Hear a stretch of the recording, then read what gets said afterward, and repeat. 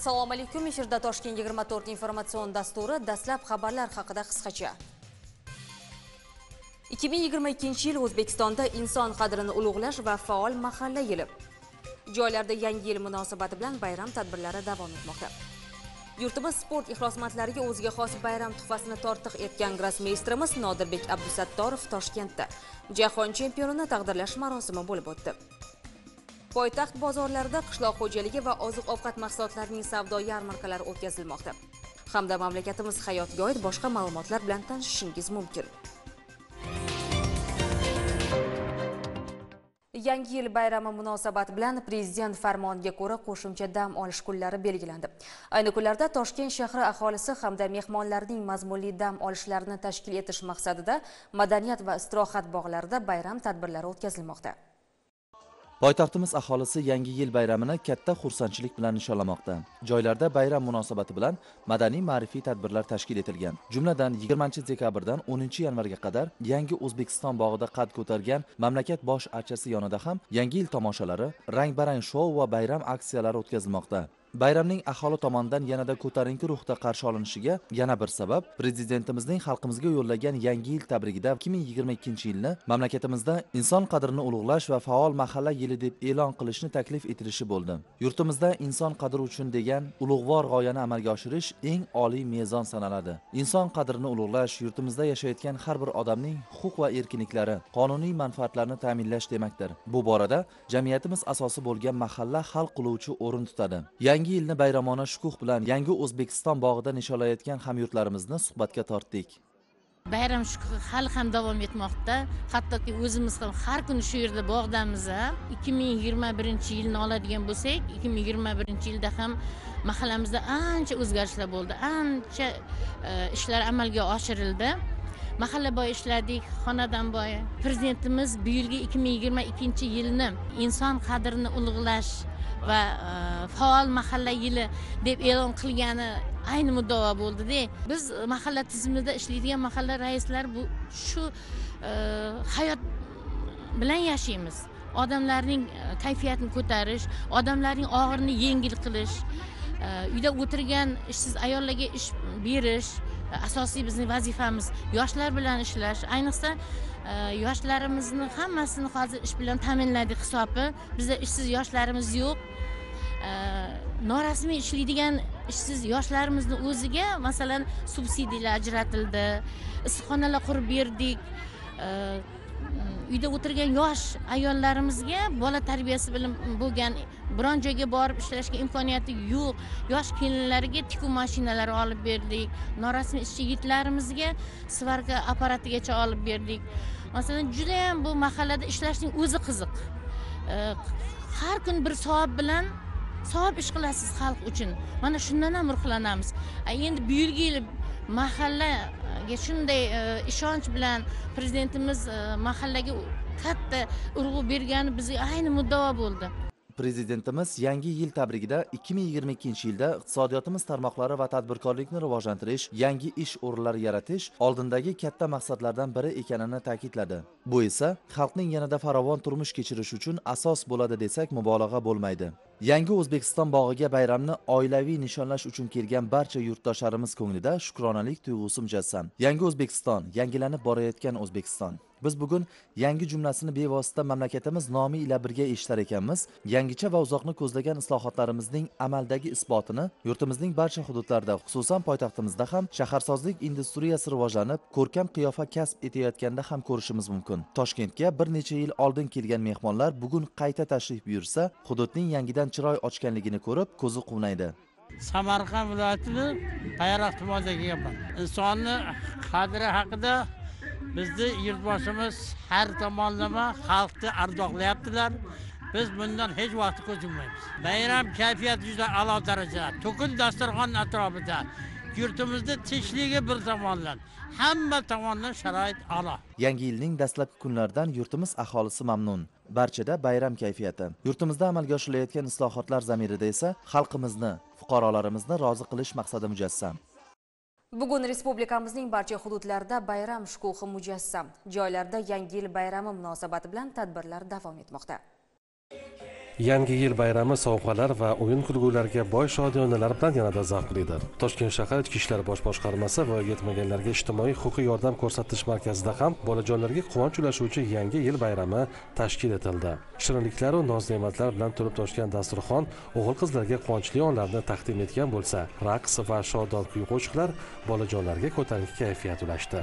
Bayram tadbirida markaz tarbiyalanuvchilari tomonidan tayyorlangan sahna ko'rinishlari ham namoyish etildi. Sovg'alardan oldin toshkent shahar ichki ishlar bosh boshqarmasi mas'ul xodimlari bolajonlarni yana bir bor bayram bilan tabriklab o'zlarining samimiy tilaklarini bildirib o'tdilar. O'ylagan orzu niyatinglarga erishinglar.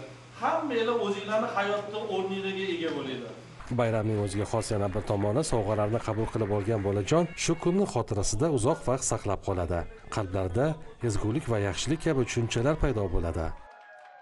Bundan qariyb bir oy oldin Ispaniyaning Barselona provinsiyasi Castel Defels shahrida shaxmat bo'yicha o'tkazilgan xalqaro turnir bo'lib o'tgan edi. Dunyoning 30 dan ortiq mamlakatidan 150 nafar mahoratli shaxmatchilar g'oliblik uchun bahslashgan musobaqada hamyurtimiz Nodirbek Abdusattorov 9 imkoniyatdan 7 ochko jamg'argan holda birinchi o'rinni egallagan edi. Xalqaro grossmeysterimiz yangi yil bayrami oldidan o'zbekistonlik shaxmat ixlosmandlariga ajoyib sovg'a hozirladi.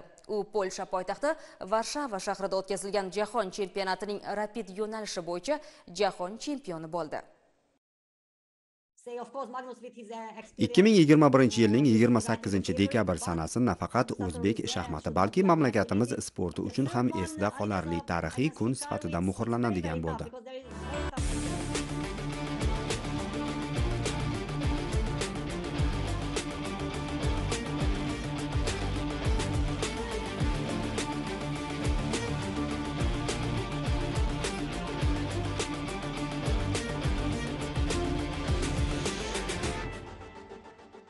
jahon chempionatining rapid yo'nalishida ketma ket zarur natijalarni ko'rsata boshlagan 17 yoshli nodirbek abdusattorovni 10 partiyada amaldagi jahon chempioni qarshi oldi. Shu o'rinda eslatib o'tamiz musobaqa shvetsarcha tizimda o'tkazilib rapid yo'nalishida bahslar 15 daqiqagacha davom etdi. Har bir yurish uchun esa 10 soniyadan vaqt berildi. Magnus karlsen uch yo'nalishda jahon chempioni hisoblanadi. 2013 yildan klassik shaxmat bo'yicha 2014 2016 2019 yillarda rapid bo'yicha jahon chempioni 2014 2015 va 2017 2019 yillarda blitz bo'yicha jahon chempioni bo'lgan. Mazkur chempionatda shaxmatchimiz karlsenga qarshi oq donalarda o'ynadi. Aksariyat bu bahsda norvegiyalik magnus karlsenning g'alabasini kutayotgan edi. Uchrashuv ham oxirgi pallalargacha teng kurashlar ostida kechdi. Yakunda nodirbek g'alabaga erishib 10 turdan so'ng birinchi o'ringa ko'tarilib oldi. Uchrashuvdan keyin u menga biroz omad kulib boqdi. Chunki raqibim farzimni h besh katakka surish orqali darhol durangga majbur qilishi ham mumkin edi. Umuman olganda o'yin deyarli teng kuchda o'tdi deb fikrlarini bildirdi. Hamyurtimiz avvalgi turlarda fabiana karuana livan aranyan radoslav vaytashik boris gelfandni mag'lub etib yan nepomnishi va aleksandr grishuk bilan durang o'ynagan edi. 11 turda sportchimiz qora donalarda rossiyalik grossmeyster vladimir fidoseyev bilan kuch sinashdi. Uchrashuvda tomonlar durangga rozi bo'lishdi. 12 turda esa hindistonlik gukesh domarajuga qarshi kechgan o'yinda ham tomonlar ochkoni teng bo'lib olishdi. Jahon chempionatining so'nggi hal qiluvchi 13 turida nodirbekka yana bir kuchli shaxmatchi polshalik yan kshishtof duda raqiblik qildi. Mazkur o'yin ham durang hisob bilan yakunlandi. 13 turdan so'ng nodirbek abdusattorov magnus karlsen va yan nepomnishev va fabiana karaunalar birdek to'qqiz yarimtadan ochkoga ega bo'lishdi. Qoidalarga ko'ra endi to'rt nafar peshqadamning yakuniy natijasi taybrekda aniqlanishi kerak. Taybrekda nodirbekka yan nepomnishi raqib bo'ldi. Ahamiyatlisi bu bahsda ham birinchi partiya durang bilan tugadi. Ikkinchi bo'limda esa nodirbek abdusattorov g'alaba qozonib tezkor shaxmat rapid bo'yicha jahon chempionatida g'olib bo'lib musobaqa tarixidagi eng yosh chempion bo'ldi. Rossiyalik shaxmatchi ustidan taybrekdagi g'alabasidan so'ng u matbuot anjumanida qatnashdi. uning so'zlariga ko'ra u taybrekda o'ynashini kutmagan lekin bunga tayyor bo'lgan men uchun eng muhimi partiyani yutqazmaslik edi va men buni uddaladim deydi yosh grossmeyster bugun boshqa o'yinim yo'qligini his qilish juda ajoyib. Men juda charchadim lekin oldinda yana bir musobaqa bor. Blitz bo'yicha jahon chempionati turibdi. Shuning uchun hozir bo'shashadigan vaqt emas. Nodirbek abdusattorov musobaqaning 13 turidagi raqibi polshalik 23 yoshli yan kshishtof duda bilan o'tgan partiya haqida ham fikrlarini bildirdi. Bu juda ham qiyin uchrashuv bo'ldi. Chunki men debyut vaqtida juda og'riqli o'ynadim. Keyin pozitsiyam yomonlashdi. Qandaydir mo'jiza sababli men o'yinni ushlab qolishga erishdim. Menga omad kulib boqdi lekin omadsiz bu musobaqada g'alaba qozonish juda mushkul. Deya o'yinini ta'riflagan nodirbek matbuot anjumanida o'zbekistonlik shaxmatchi yan Nipomishi bilan o'yinga ham to'xtaldi. U bizning to'rtinchi turdagi rapiddagi o'yinimizdan keyin yaxshi tayyorgarlik ko'rdi. Biz qaysidir ma'noda o'xshash debyutlarni takrorladik lekin u pozitsiyalarda qoralar bilan o'ynash osonroq edi. Jurnalistlardan birining nodirbek abdusattorovdan o'zingizni 1992 yil maniladagi shaxmat olimpiadasida kumush medalni qo'lga kiritgan o'zbekiston terma jamoasi va 2004 yil fide jahon chempionatida g'olib bo'lgan rustam qosimjonovlarning merosxo'ri deb his qilasizmi degan savoliga yo'q. O'zimni bunday muvaffaqiyatlar bilan taqqoslashga hali erta lekin o'ylashimcha kelajakda bu haqda jiddiy fikr yuritsa bo'ladi deydi u Thank you so much for joining us and once again congratulations. It's great success. Thank you. Bugun o'zbekiston milliy olimpiya qo'mitasida shaxmatning rapid yo'nalishi bo'yicha jahon chempionligini qo'lga kiritgan nodirbek abdusattorovni taqdirlash marosimi bo'lib o'tdi. Tadbir davomida jahon chempioni nodirbek abdusattorovga prezident shavkat mirziyoyevning tabrigi o'qib eshittirildi va unga mard o'g'lon davlat mukofoti topshirildi. Shuningdek 17 yoshli jahon chempioniga toshkent shahridan ikki xonali uy kaliti ham taqdim etildi. Bu hali hammasi emas sportchimiz 250 million so'm miqdoridagi pul mukofotiga ham ega bo'ldi. Musobaqa juda ham qiziqarli va taassurotlarga boy bo'ldi. Jahon chempionatiga ispaniyadan men yo'l oldim chunki ispaniyada ham bundan oldin ikkita musobaqada g'alaba qozondim. Va balki bu ham balki bitta sababdir chunki o'zimga bo'lgan ishonch juda ham yuqori edi bu g'alabalardan keyin va bu rapid yo'nalishi bo'yicha bo'lgan jahon chempionatida o'zimni eng yaxshi o'yinimni ko'rsatdim deb o'ylayman. Birinchi turida norvegiyalik magnus karlsonni mag'lub etib juda ham katta qadamni qo'ydim g'alabaga. Va oxirida bu g'alabam juda ham o'z ta'sirini ko'rsatdi. To'rtta o'yinchida bir xil ochko bo'lib qoldi va musobaqa reglamentiga ko'ra ikkita eng yuqori birinchi ikkinchi o'rinlar qo'shimcha match o'ynashlari kerak edi ikkita partiyadan. Va o'sha matchda men jahon chempionligiga da'vogar yani pomnishini mag'lubiyatga uchratdim.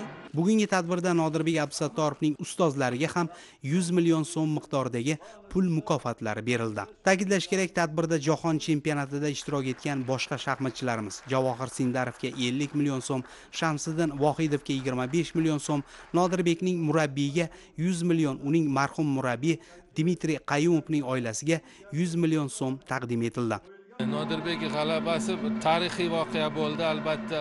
Tarixda qoladigan chunki eng yosh shaxmatchimiz 17 yoshli nodirbek jahon chempioni bo'ldi. Ungacha e, magnus karlson karyakin sergey juda taniqli shaxmatchilar qo'lga kiritishgan. Tezkor o'yin chunki bor yo'g'i 10 daqiqa vaqt beriladi o'yinga. Shunda ham kuchli ham tez o'ynash kerak. Har bitta raqibini olsak bu juda nima topoy o'yinchi deymiz. Dunyoda o'ntalikka beshtalikka kiradigan o'yinchilar. Ham jahon chempioni hozirgi paytda magnus karlsen chempionni ham ustidan g'alaba qozondi mazkur jahon chempionatida hamyurtimiz javohir sindarov ham kuchli sakkizlikdan joy oldi. Juda yam kuchli raqobat ostida kechgan bellashuvlar ancha keskin va murosasiz kechdi. Meni oldimda javohir sindarov tabriklayman javohir. Kuchli sakkizlikka kirishni o'zi ham juda katta baxt omad umuman taassurotlaringiz haqida ushbu musobaqa men uchun to'g'risini aytsam birinchi marta bo'ldi.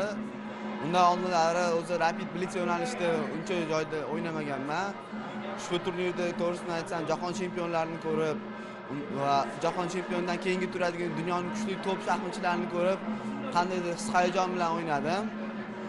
Lekin shunga qaramasdan blitz yo'nalishidan men startni juda ham kuchli oldim. Dunyoning eng kuchli top shaxmatchilarini ham yutishga erishdim. Har turdan keyin biz gaplashib o'tirardik nodir bilan. To'g'risini aytsam o'yinlarini ko'rib havas ham qildim. U jahon chempionini yutdi. E, jahon chempioni ham uni kuchli yurishlariga bardosh bera olmadi. Qoyil qoldim. Albatta o'ylaymanki bu hali biz uchun boshlanishi xudo xohlasa kelajakda bundanda katta yutuqlar ham qilamiz deb o'ylayman.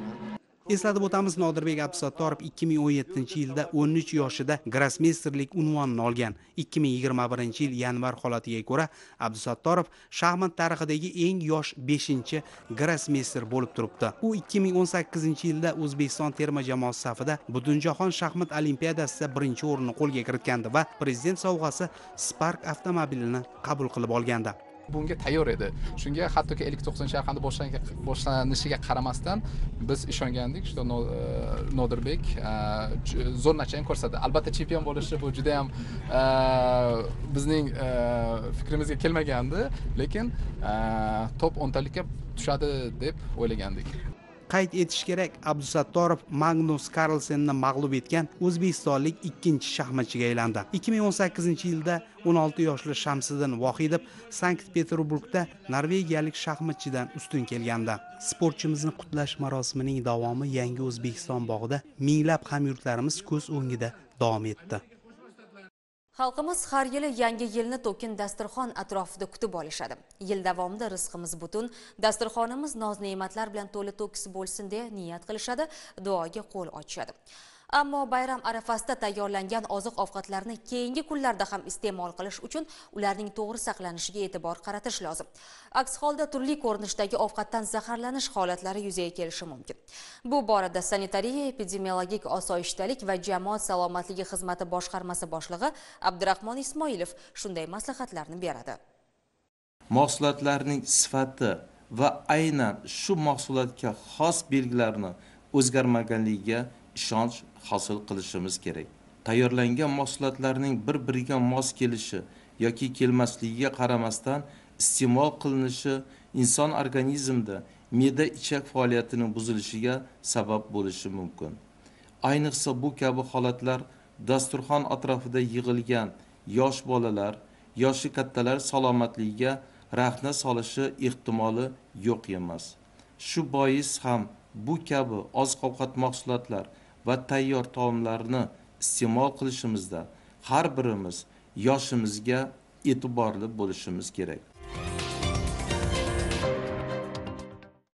Yangi yil bayrami munosabati bilan poytaxtimizdagi bozorlar hamda aholi gavjum joylarida oziq-ovqat mahsulotlarining savdo yarmarkalari tashkil etilgan. Navbatdagi lavhamizda ana shu haqda so'z boradi. Ayniqsa eski jo'va dehqon bozor oldida tashkil etilgan yarmarka har kungidanda gavjum. Bu yerda oziq ovqat mahsulotlari savdosi bilan shug'ullanayotgan qayta ishlash korxonalari kichik biznes va xususiy tadbirkorlik subyektlari chorvachilik parrandachilik baliqchilik hamda asalarichilikka ixtisoslashgan xo'jaliklar dehqonlar tomonidan aholiga turli xil oziq ovqat va qishloq xo'jaligi mahsulotlari maqbul narxda taklif etilmoqda. Yarmarkada o'ttizdan ortiq turdagi oziq ovqat mahsulotlari aholiga bozorga nisbatan arzonligi bilan manzur bo'lmoqda. Xalqimizni fuqarolarimizni yaxshi kayfiyat uchun bozorimizni mana shu chiroyli yarmarkalar bilan bezatdik. Undan tashqari mana archalarimiz qorbobolarimizni mana kiyintirib qo'yganmiz. Bolalari nevaralari bilan kelib bozorlarni xursandchiligi bilan kelib bozor qilib ketishyapti. Biza salatlar uchun mahsulotlar xarid qildik. Anchagina arzon. Keyin qandaydir muomalalar ham yaxshi. Bizaga ma'qul tushdi. Bunday savdo yarmarkalarining tashkil etilishi aholimizning dasturxoni to'kin sochin bo'lishini ta'minlaydi. Ijodiy guruhimiz bilan poytaxtimizdagi yana bir savdo markazi farhod dehqon bozorida tashkil etilgan yarmarkani ham kuzatdik. Farhod dehqon bozorimizda namangan viloyatini dehqon fermer xo'jaliklarida yetishtirilgan mahsulotlar keltirilib va savdo yarmarkasi tashkil etilgan e, bu mahsulotlarga kartoshka e, piyoz sabzi kartoshkalarimiz e, uch yarim mingdan aholiga manzur bo'lyapti. E, bundan tashqari e, piyoz sabzilarimiz e, ikki ming ikki yarim ming so'mdan piyozlarimiz bir ming yetti yuz so'mdan. Bulung'ur tumanidan kelganmiz. Mana shu bozorlari judayam arzon hamyonbop mana asal oldik hozir o'ttiz kilo. Bir yuz yigirma minglik asallar oltmish ming ellik besh mingdan. Arzon hamyonbop xalqqa judayam yaxshi narxlari narx navolaridan suyunib bozor qilsa bo'ladi. Yarmarkalarga mahsulotlarning uzluksiz ta'minlash uchun ta'minotchi korxonalar agrofirma va fermer xo'jaliklari biriktirilgan. Har bir ajratilgan savdo rastalari ho'l mevalar poliz ekinlari guruch tuxum kabi iste'molbop mahsulotlarga to'ldirilib bayramona bezatilgan. Bozorga kiritilayotgan barcha turdagi oziq ovqat va qishloq xo'jaligi mahsulotlarining tegishli ekspertiza laboratoriyalari xodimlari tomonidan tekshiruvdan o'tkazilgach sotishga ruxsat berilishi esa mahsulotlarning iste'mol uchun ishonchliligini oshiradi. Eslatib o'tamiz yangi yil bayram yarmarkasi ikki ming yigirma ikkinchi yilning beshinchi yanvar kuniga qadar davom etadi Bu dasturimizdan o'rin olgan so'nggi xabar edi. Bizni ijtimoiy tarmoqlardagi sahifalarimiz orqali ham kuzatishingiz mumkin. Shuningdek, dasturlarimizni O'zbekiston Milliy teleradio kompaniyasining OTT platformasida ham tomosha qilishingiz va qayta ko'rish imkoniyatiga egasiz. Bizdan uzoqlashmang, yana ko'rishguncha.